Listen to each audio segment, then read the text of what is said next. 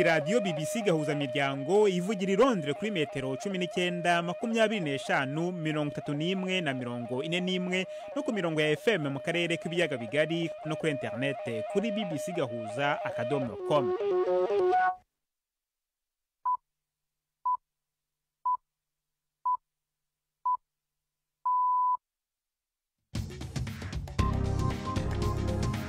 Ubu ni saa kumi n'igice ku isaha mpuzamahanga ya gmt ni saa kumi n'ebyiri n'igice ku isaha yo mu rwanda no mu burundi. Muri studio muri kumwe na jacques niyitegeka. Izi ni ingingo z'ingenzi zigize aya makuru. Abahagarariye impunzi z'abarundi muri zambia baravuga ko batewe impungenge n'umubare ugenda wiyongera w'abarundi bicwa cyane cyane mu murwa mukuru w'icyo gihugu rusaka ikibazo cyatanguye mu mwaka w'ibihumbi bibiri na mirongo ibiri na kabiri aho abantu tutamenya abo ari bo bari bashika mu mashopu y'abantu cyangwa aho bakorera abarundi bakaba barasira mu mashopu yabo mu bikorwa byabo. Muri aya makuru kandi turabagezaho ko igikorwa cyo kwibuka ku nshuro ya mirongo itatu jenoside yabaye mu rwanda muri mirongo icyenda na kane cyagenze hano mu bwongereza mu mujyi wa manchester ejo bundi ku wa gatandatu. Tubafitiye n'ikiganiro cy'urubuga rw'imikino muri mwese ikaze muri aya makuru yo kuri uyu wa mbere itariki ya makumyabiri n'icyenda z'ukwezi kwa kane.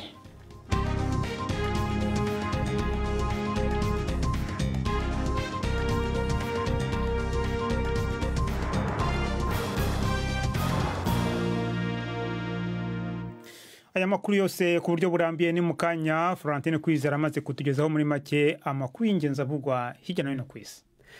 Tuyahereye kuyerekeye uburasirazuba bwo hagati muhari hamas ukomeza guhimirizwa kwemera ibyo leta zunze ubumwe za amerika zivuga yuko ari nk'aho israel yemeye kubegurira byinshi cyane mu bijyanye n'ibiganiro byo guhagarika intambara. Umuhari hamas biravugwa ko waba bavuze yuko atakibazo kinini ufise ku biri mu nteguro imaze kwemerwa na israel. Iki kigoranye ku ruhande rumwe ni uko hamas isaba guhagarika intambara burundu na yo israel igashimangira kuvuga yuko hotangwa agahengwe k'igihe gito muri izo ntambara. Umushikiranganji w'imigenderanire wa leta zunze ubumwe za amerika anthony blinken ahari mu biganiro muri arabi saudite na bagenzi we bo mu karere yavuze yuko afise icyizere yuko umuhari hamas uzokwemera iyo nteguro igaragaza mu majambo yiwe gutanga batitangiriye itama ku ruhande kwa israel. Hamas has before it a proposal that hamas yarungikiwe integuro irimo byinshi rwose israel yabahebeye mu buryo budasanzwe.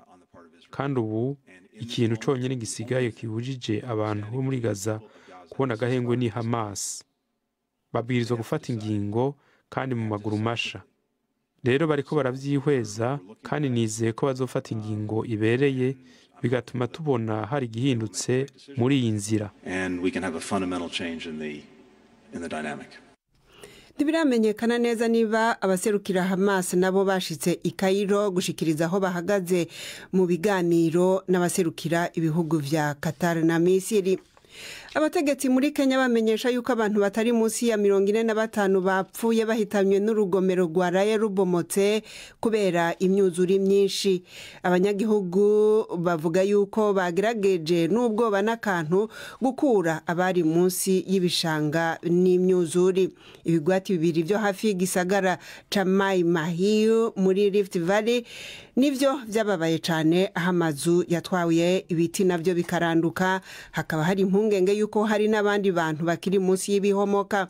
Abarenga ijana na mirongo ibiri nibo bamaze kumenyekana yuko bapfuye n'abaharugwa mu bihumbi barataye izabo kubera imyuzure imaze muri ico gihugu aho bamwe bacumbikiwe mu mashure.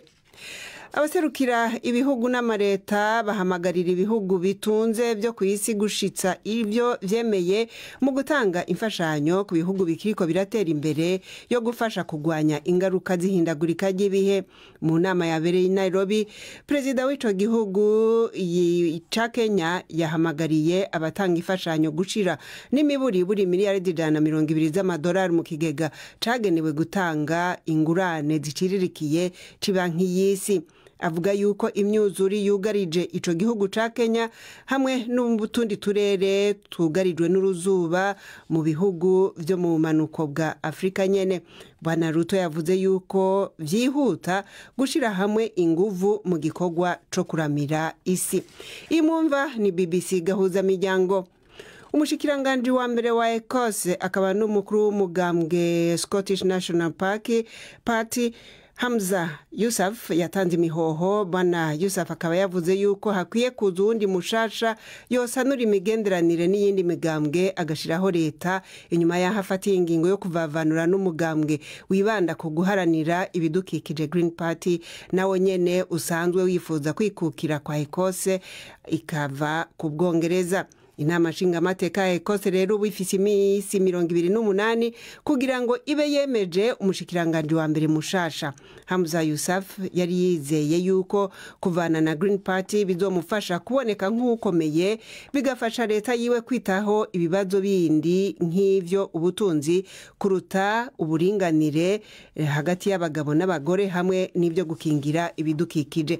Ariko aho kumukomeza ingingo yafashe yaje kongereza ikibazo yari asanganywe inyuma y'aho abo muri greens bavugiye yuko batazomushigikira mu matora yo kumukurako icizere niko guca atanga imihoho. Inkuru ya rob watson muyishyikirizwa na ivete kabatesi. Ni ibihe bikomeye muri politiki ya scotland n'ubwongereza.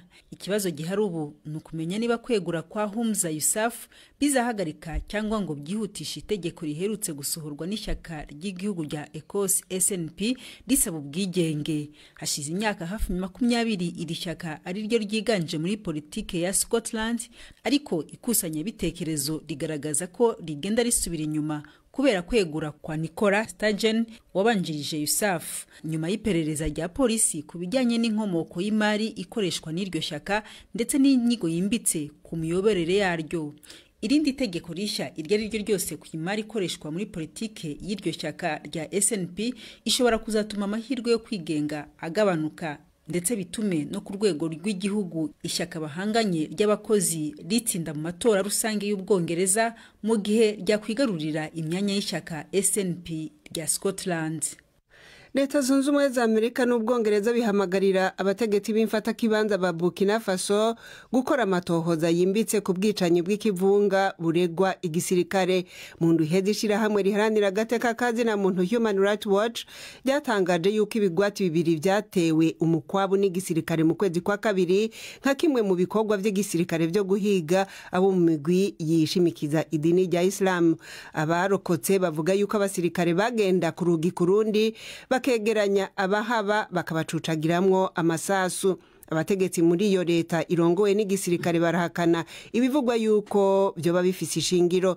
Ibinyamakuru mpuzamakungu birimo na bbc byarahagaritswe inyuma yo kuvuga amakuru kuri ibyo birego. Hari amakuru avuga yuko muri togo atari benshi bitabiriye amatora y'abashingamateka yahiriwe uno munsi. Aya matora akaba akurikiye amahinduka y'ibwirizwa shingiro mu minsi iheze. Abanegura leta bavuze yuko yari agamije gufasha foro nyashimbe kuguma ku butegetsi umuryango wiwe umaze ko imyaka mirongo warigaruriye aya mahinduka yazanye ubutegetsi bushingiye ku nama nshingamateka yasubiriye uh, bwasubiriye ubwari bushingiye ku bubasha bw'umukuru w'igihugu. Ibizotuma bwana nyasimbe ashobora kudashigwa ko ibiringo ntarengwa abwirizwa kumara ku butegetsi. Amaze kuri ubwo butegetsi imyaka hafi mirongo ibiri akaba yasubiriye se. Yasimbe eadema nawe yategetse togo hafi imyaka mirongo ine. Jack. Arakoze florentine kwizera.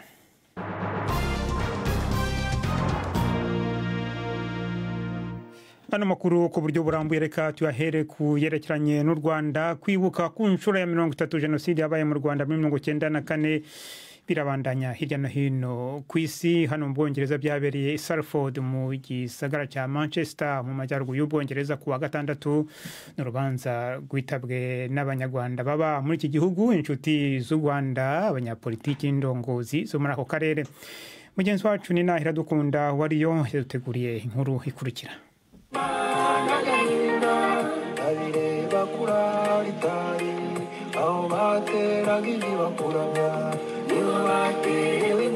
Izo ni indirimbo zo kwibuka zasamirana muri ico kibanza. Imihigo yatanguye mu masaha ya saa sita yatangujwe n'urugendo rw'ikirometero n'inusu mu gacerere kuva ku rusengero rwa katedrale ya manchester gushika muri parke ya st stephen gardens. Aho ni ho hari ibuye ry'icibutso c'abazize jenoside yo mu rwanda mu gihumbi kimwe amajana na mirongo icenda na kane. Ku vyapa bari bafise vyari vyanditse mu kinyarwanda no mu congereza hari handitswe ngo kwibuka ku nshuro ya mirongo itatu jenoside yakorewe abatutsi walk to remember the victims of 1994 genocide against the tutsis in rwanda na never again. Mu ijambo ryo kwakira abashitsi paul dennett umukuru w'igisagara ca salford cabereyemo urwo rubanza yavuze ko ivyabaye mu rwanda mu gihumbi kimwe amajana icenda na mirongo icenda na kane vyobera icigwa abantu bose bo kw'isi. Bwanje butangwa n'imana. Kandi ubweranda bw'ubuzima ni inshingano za twebwe twese mu bibereye gukorwa no mu gutandukanya ikibi n'iciza umukuru w'ishirahamwe rihuza abanyarwanda baba mu bwongereza nrc national association of rwandan communities bwana jabo butera yavuze ko umugirwa wo kwibuka ari ingirakamaro kubera uhuza abantu kandi ugafasha kwiyubaka no kwigisha abana b'abanyarwanda bavukiye mu mahanga kahise k'igihugu cabo. Debora munganye nka simugomwa ni umwe mu barokoze jenoside yari ari muri urwo rubanza. Atanga ubutumwa afise ku bandi barokotse. Aba rero mbwira abantu bose ntitwiyigishe kubabarira no kubabarirwa kandi tubabarirane kandi twiyubake. Yego tujye twibuka ariko tuniyubaka. Userukira u rwanda mu bwongereza ambassador johnston businge yashimitse ku ntambwe u rwanda rugeze ko mu kwiba ikibanza ubwoko mu buzima bw'igihugu. But the last 30 years, from 1994 to now, are the first straight period. Kuva igihugu cy'u rwanda cyikukira mu gihumbi magana cyenda na mirongo itandatu na kabiri ni ubwa mbere mu myaka mirongo itatu ihetse abatutsi babayeho badafise ubwoba bwo kwibasirwa guhagarikwa gukumirwa cyangwa kwicwa cyangwa kwimwa uburyo bwo gushika ku cyo bifuza. Ni ubwa mbere mu myaka mirongo itatu twese abanyarwanda aho tuva hose tutasabwe kwitirirwa ubwoko.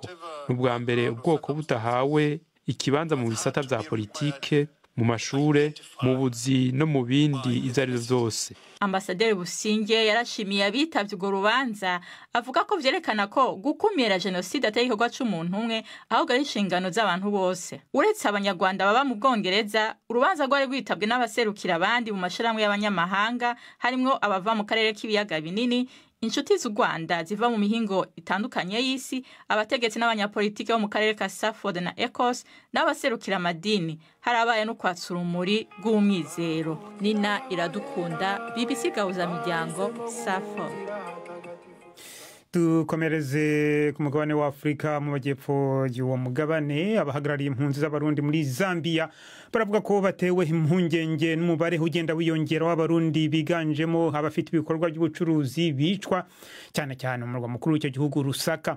Umukuru w'ishyirahamwe ry'impunzi z'abarundi ziri muri zambia donatien sananikiye avuga ko kugeza ubu batari bamenya ababikora n'impamvu zibibatera.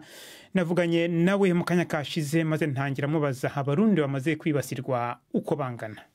Ikibazo cyatanguye mu mwaka w'ibihumbi bibiri na mirongo ibiri na kabiri aho abantu tutamenya bari bo bashika mu mashopu y'abantu cyangwa aho bakorera abarundi.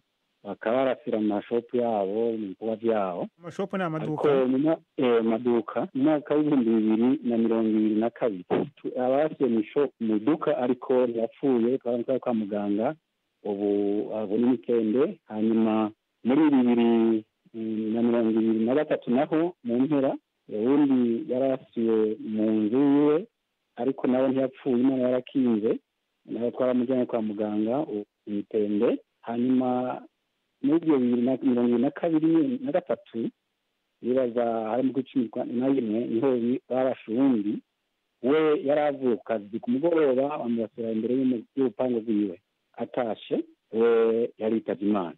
Hanyuma birabandenge rero n'ubu mu bihumbi bibiri na mirongo ibiri na kane aho abantu babiri baraye bishwe vuba abo basanzwe mu mashopu barabarasa barashe inkoho ariko baracumitse amavuta gushikana bitaba imana. Abo bishwe ryari? abo bishwe mu kwezi nyine ukwezi kwa kane mwumvise neza n'ubwicanyi bwibasira abarundi bafite amaduka ngo muri zambia. Bafite amaduka abo bonyine kuko niyo wundi biciye ku miryango yari avuye no ku gikorwa muga nta duka yari afite amuhira. Yari avuye akorera komesa mugabo majorite nabo ariko baricwa bafite amaduka ni impunzi z'abarundi cyangwa ni abarundi basanzwe baba aho ngaho muri zambia? Bacanze hariho abarundi basanzwe hamwe n'impunzi bose bagira ibibazo bimwe. Polisi hari amaperereza yari yakora hari icyo yari yatangaza? Eh, polisi twashikirije ibyo bibazo kandi n'abarabibona eh, bagira akazi kagira amatohoza ariko gushika ubu nta nkuru z'ukuri baratubwira. Eh, kiretse abo babiri bishwe byo bundi eh, ni ho twumvise ko hari abafashwe bakaba bari muri polisi gushika ubu bavuga ngo bariko bagira investigation. Turarindiriye ico bazotubwira ikizoba cavuyemo ubwo muri rusange abamaze kwicwa ni bangahe? Eh, reka tuvuge ko abishwe bahereye kuva muri bibiri na mirongo ibiri na gatatu bamaze baza gushika bashika batanu abandi n'abakomeretse barashwe ni babiri. Hari n'undi umwe eh, mu mbwa iyindi district yitwa mu mbwa eh, nawe ari mu bishwe muri abo batanu. Mwebwe hari icyo mwaba mukeka cyangwa se n'ubugizi bwa nabi busanzwe bushobora no kwibasira abanyazambiya ni ukuri eh, ntawo bimenya neza kuko kuko nitoheza ntabwo baratubwira ariko bava benshi ntabazambiya eh, n'abarundi impunzi n'abatari impunzi rero tuvuze ngo ngo bari basimwe basanzwe baba bagize abana cyangwa ngo bo baravuye ahandi. Icyo ntabwo tubamenya nicyo gituma twabishyize amaboko maboko y'ubutungane kugira ngo bagire iperereza batubwire ibiba byavuyemo. Hagati aho amaperereza atari yarangira hari ingamba zafashwe z'umutekano kugira ngo hatagira abakomeza kwicwa.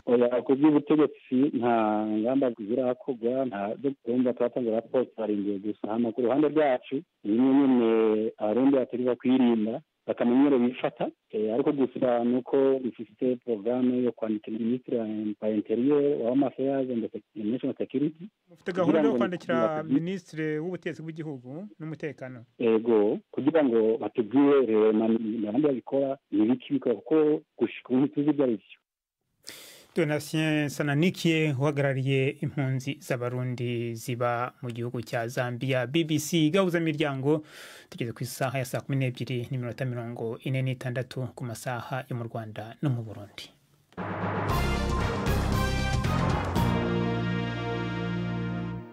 Dukomereze mu burundi. Muri iyi ndwi dutanguye ni ho bitegekanijwe ko abanyagihugu bo muri zone gatumba komine mutimbuzi intara ya bujumbura baba mu burere bubangamiwe cyane n'imyuzure y'ikiyaga tanganyika n'uruzi rusizi bazotangura kwimurwa kuva mu mpera z'indwi iheze. Inzego z'igihugu zaratanguye ibikorwa byo kumenyesha abo banyagihugu ingingo yafashwe n'inama. Nshikiranganji zongera zitunganya n'intonde z'abategerezwa kwimurwa.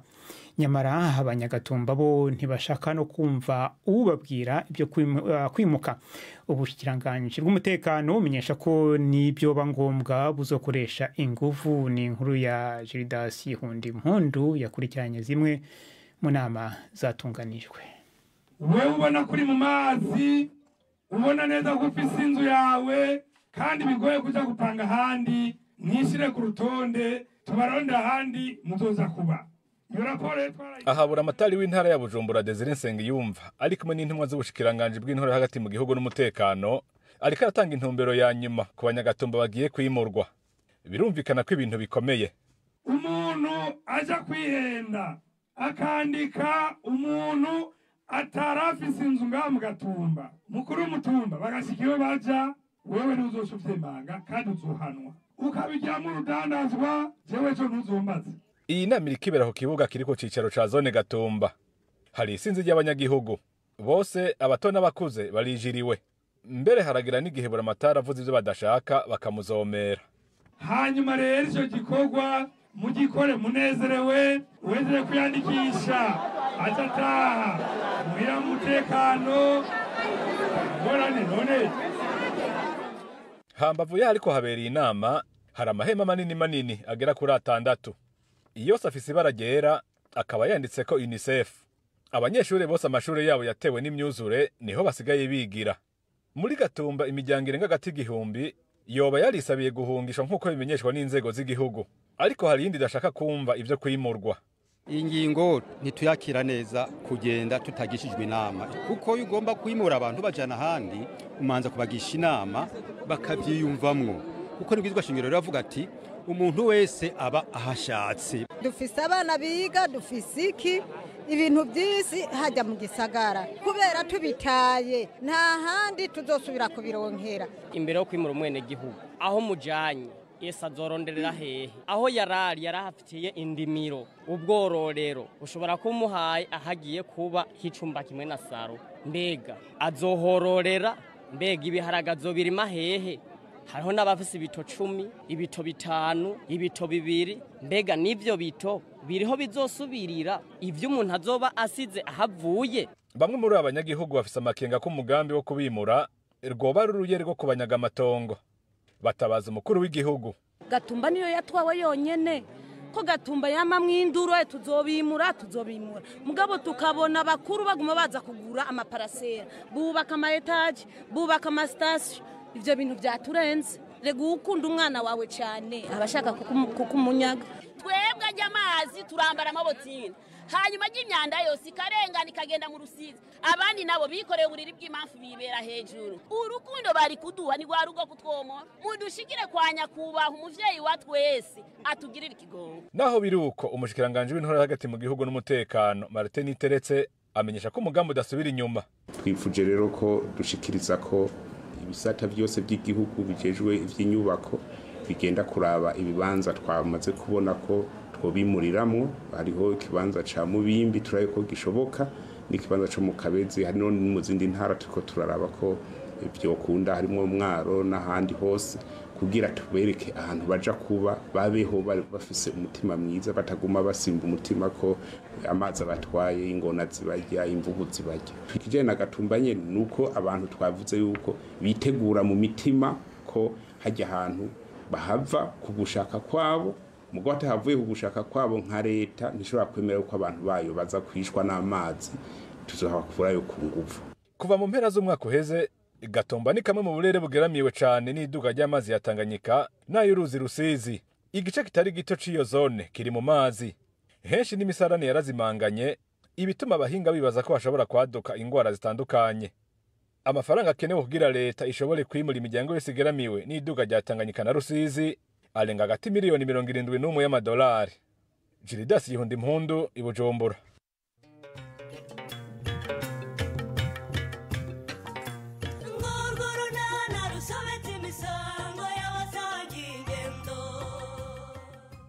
Mu kiganiro urunana cyo kuri wa kabiri twabateguriye honori nta gaseri kamwe ashaka kuri iyo mineke nzanye menara amashyira abandi bana basangire.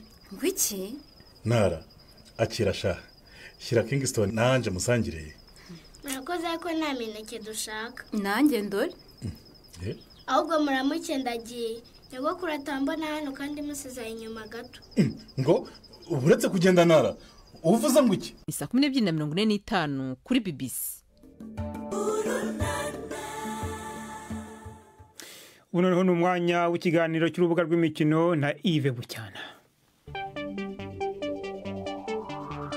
Imikino kuri bbc gahuza miryango ndabashuje mwese abateze amatwi bbc ay'imikino nyahere muri afurika amakipe ya esperance do tunis yo muri tunisia na national alaili yo mu misiri niyo azakina umukino wa nyuma w'igikombe cy'ayabaye ya mbere iwayo kafu champions league.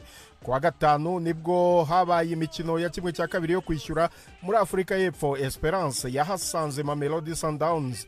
Iyi tsinda igitego kimwe ku busa gisanga ikindi kimwe ku busa yari yayitsinze mu mukino ubanza. Nasiyonari arahiri yo mu misiri yo yasezereye tipi mazembe yo muri repubulika ya demokarasi ya kongo iyihondaguye ibitego bitatu ku busa. Umukino wo kwishyura wabereye i Cairo mu misiri. Mu mukino ubanza wabereye i rubumbashi amakipe yombi yari yanganyije ubusa ku busa. Mu gikombe cya confederation ikipe ya usm arije muri algeria yongeye guterwa mpaga n'ikipe ya berkane yo mu gihugu cya maroke yahise igera ku mukino wa nyuma ikazahura na zamalek yo mu misiri yo yasezereye ikipe ya dreams football club yo mu gihugu cya ghana. Yitsinze ibitego bitatu ku busa. Caf yatangaje ko izafatira ibihano birenze ikipe ya usm arije yanze gukina imikino yombi nyamara amakipe yari yageze ku kibuga. Kwanga gukina kwa usm arge biraterwa n'impamvu za politiki hagati y'ibihugu byombi. Berikane ikina yambaye imyenda iriho ikarita ya maroke igaragaraho intara ya sahara y'uburengerazuba. Maroke ifata nk'intara yayo. Mu gihe algeria ibyo itabikozwa igashaka ko iyo ntara igomba kwigenga. Nge ku mugabane w'uburayi mu bwongereza ruracyageretse ku gikombe cya shampiyona hagati ya arsenal na manchester city mu gihe liverpool yo yamaze kumanika amaboko. Ku wa gatandatu liverpool yanganyije na west ham ibitego bibiri kuri bibiri. Ejo ku cyumweru arsenal yatsinze tottenham mukeba wayo wo mu majyaruguru ya london ibitego bitatu kuri bibiri. Nyuma y'uwo mukino manchester city yari ku kibuga cya nottingham forest ihatsindira ibitego bibiri ku busa. Arsenal iyoboye urutonde n'amanota mirongo inani kuri mirongo irindwi n'icyenda ya city.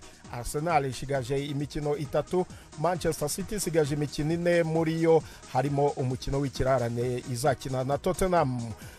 Hagati aho rutahizamu w'ubwongereza hari ken ku wa gatandatu yinjije ibitego bibiri ubwo bayern munich yatsindaga frankfurt ibitego bibiri kuri kimwe ashyiramo agahigo gashya ko gutsinda ibitego byinshi muri shampiyona.